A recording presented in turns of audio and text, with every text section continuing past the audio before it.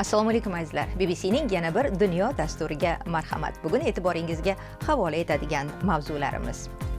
Toshkentdagi qadim usmon qur'oni mushafidan 150 yilcha avval rossiya olimlari nima uchun nusxalar ko'chirishgandi? Ular hozir qayerda?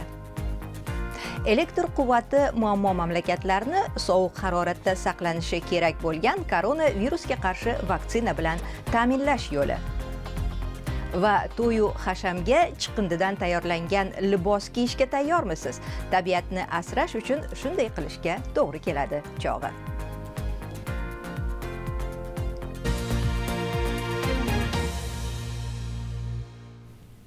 Dastlab hindistondan boshlasak.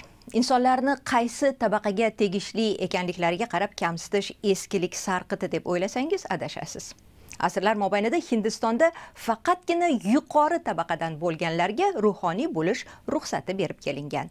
Lekin yaqinda quyi tabaqadan bo'lganlarga ham ruhoniy maqomini egallash imkoni berildi.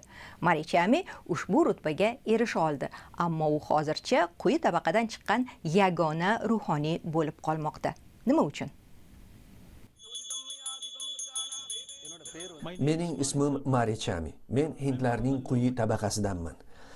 Men bolaligimdan ilohiyot ta'sirida bo'lganman ammo faqat oliy tabaqa brahminlargina ruhoniy bo'lishlari mumkin.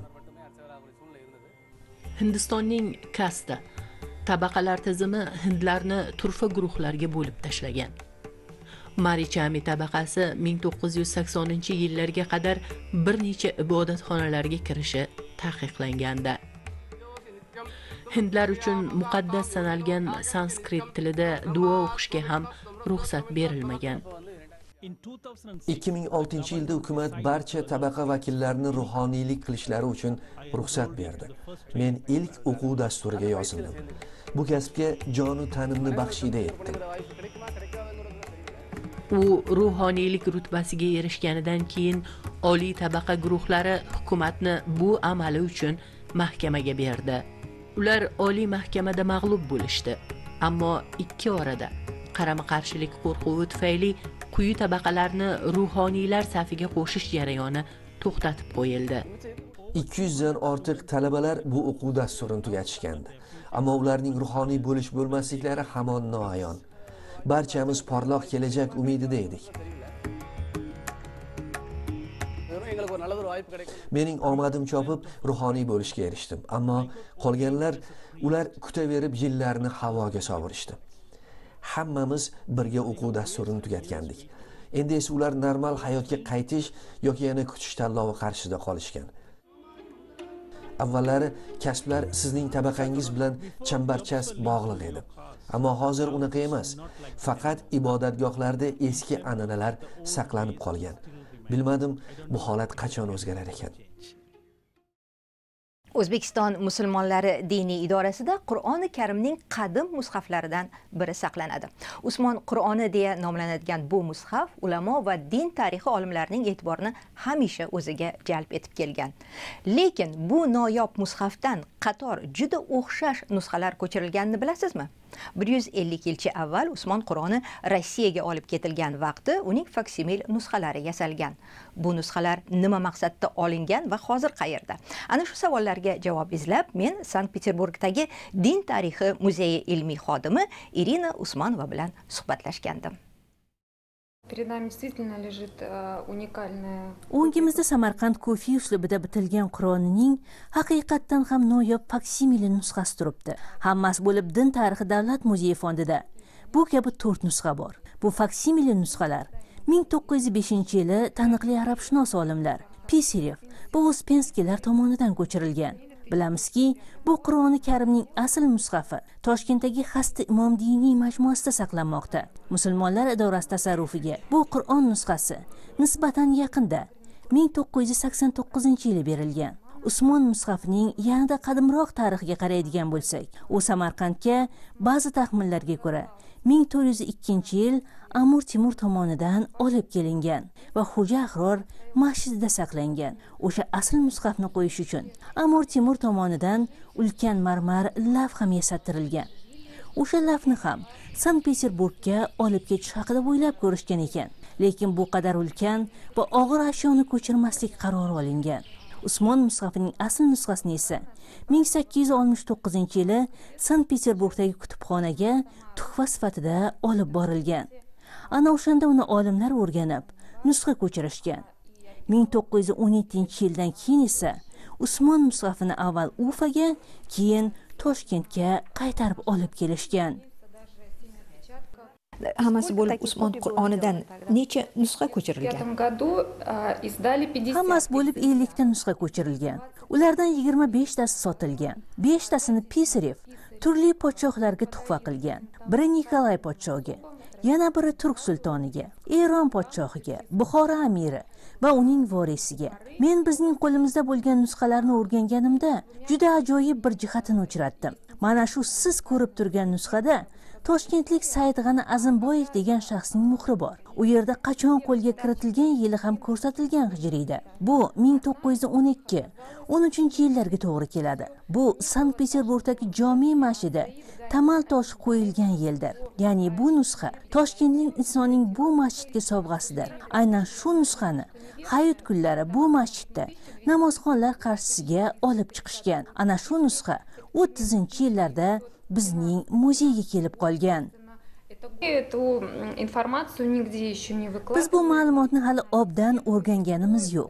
Toshkentlik saidg'ani azimboyev kim bo'lganligini bilmaymiz. Lekin buxoro amiriga yaqin odam bo'lgan deb taxmin qilaman.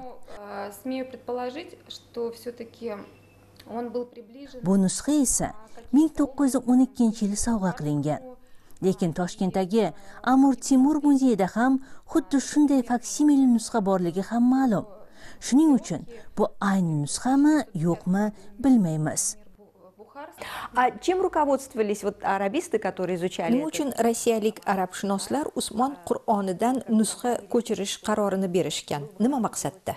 А, Ну, во-первых, они понимали, что fikrimcha birinchidan ular bu o'ta qadim va noyob qo'lyozma ekanligini yaxshi anglashgan o'sha davrda bunga o'xshash mushaflar borligi ularga ma'lum bo'lmagan. Bundan tashqari olim shibunin usmon mushafini sinchkovlik bilan o'rgangan vaqti undagi qator sahifalar yo'qolib keyinchalik yangilanganligini aniqlagan. Masalan jonzot terisidan qilingan asl pergament o'rniga paxtadan yasalgan mato sahifalar ishlatilgan ekan.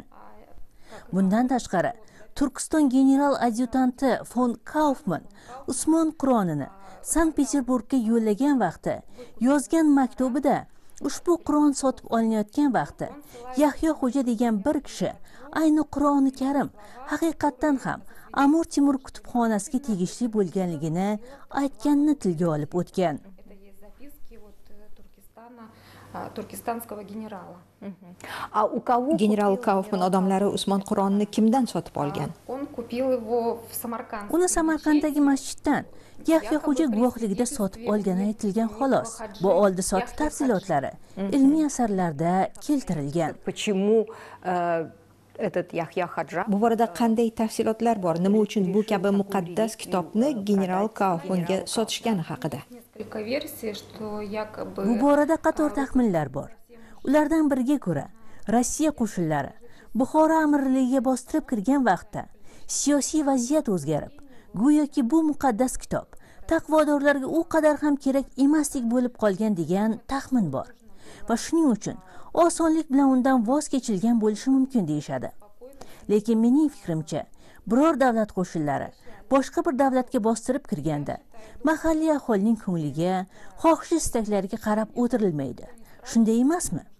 Keyinchalik usmon musqafini toshkentga qaytarish uchun 1917 yil maxsus komissiya tuziladi va maxsus poyezdda u 1923 yili markaziy osiyoga qayta yo'lga chiqadi. Aytishlaricha vladimir lenin markaziy osiyo xalqlarini sho'rolar hukumati tomoniga og'dirish uchun usmon qur'onini qaytarish qaroriga kelgan. Bu qadam siyosiy o'yin bo'lgan deb o'ylayman.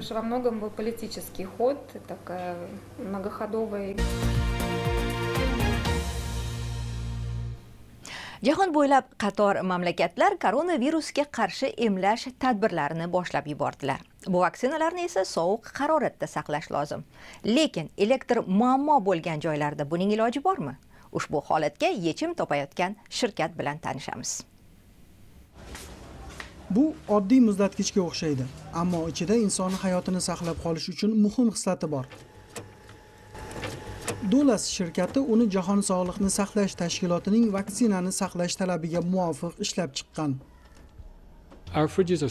Muzlatgichlarimiz quyosh energiyasida ishlaydi. Quyosh panellaridan tok olgani uchun ham uni quyosh bilan ishlaydigan muzlatgich deymiz. Tunda quyosh bo'lmagan vaqtda ishlashi uchun ichida muzlaydigan maxsus suyuqlik bor. Tunda muzlatilgan bu suyuqlik erib muzlatgich ichidagi sovuq haroratni ta'minlab turadi dulas bunday muzlatgichlardan yiliga 2000 ta ishlab chiqaradi.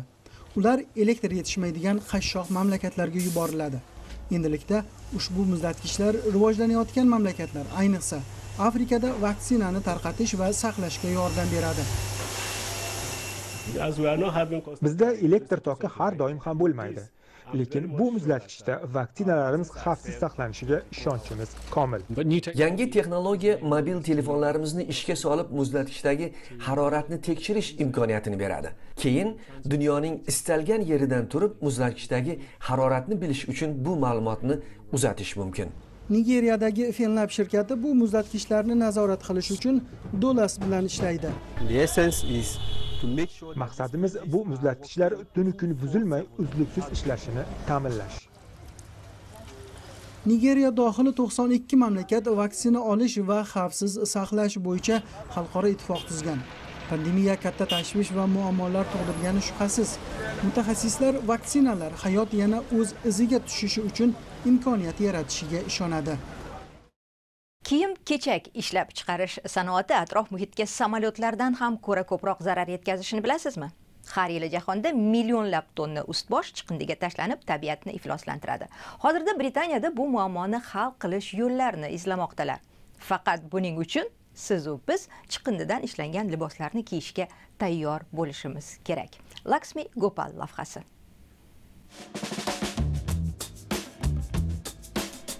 Kiyim kechak ishlab chiqarish sanoati britaniya iqtisodi uchun yiliga 42 milliard dollar olib keladi. Ammo uning atrof muhit uchun yetkazayotgan zarari anchayin yuqori. Bir yilda jahon bo'ylab havoga chiqarilayotgan zararli issiqxona gazlarining 10 foizi to'qimachilik sanoatiga to'g'ri keladi. Bu samolyot va kemalar birgalikda yetkazayotgan zarardan ham ko'proq. Suvlarning 20 foizi aynan shu sanoat tufayli ifloslanadi. Muammoga yechim topish uchun chiqindilardan kiyim ishlab chiqish yo'llari ko'rib chiqilmoqda. Bu yo'nalishda qator universitetlarda izlanishlar olib borilayotir. York universitetida esa bu jarayonni ancha pishitib ham qo'yishdi. Ular chiqindilarni kimyoviy yo'lda qayta ishlab tabiiy toladan qilingan matoga aylantirishmoqda. Daladan kelgan va qog'oz sochiqlar dohil maishiy chiqindilar maydalanib pasta holatiga keltiriladi. Unga fermentlar qo'shilib shakarga yaqinlashtiriladi. Keyin u sellyulozaga aylantiriladi. Shundan so'ng uni kesib tozalab quritib oxir oqibat sizu biz sotib olishimiz mumkin bo'lgan libosga aylantirilib do'konlarga jo'natiladi. Bu juda ajoyib jarayon chunki bu o'n yillik mehnatimiz samarasi umidim shuki yaqin orada odatiy kiyimlardan voz kechib chiqindidan qilingan liboslarni kiya boshlasak. Mana bu narsalar hozircha matoga o'xshamayotgandir ammo kranfeld universitetidan olimlar bu sellyulozani tabiatga zarar yetkazmaydigan jarayon orqali tolaga aylantirmoqdalar. Buni quritsak mato to'qish mumkin bo'lgan tolaga aylanadi. Bu matoni keyin kiyim kechak va ular uchun lozim boshqa narsalarni yaratishda ishlatsa bo'ladi bu kabi loyihalar hali dastlabki bosqichda ammo yaqin kelajakda bugungi chiqindi. Kelgusi mavsumning bashang kiyimiga aylanadi. Xullas yakun kunlarda balkim do'konlarda. Shu bilan bu galgi dunyo dasturimizga yakun yasaymiz. Kelgusi hafta bbc dunyosida uchrashguncha. Xayr.